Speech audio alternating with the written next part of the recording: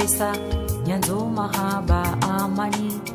Zachoenea duniani leo inu ngizo nziro zifikiri.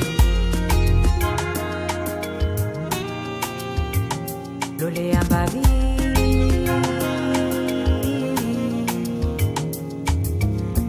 Yesa dunia ya jokaya vatina vatina ubaguzi wa dini besenga mjofikiri hiyo tabiri ntia miche uzifikiri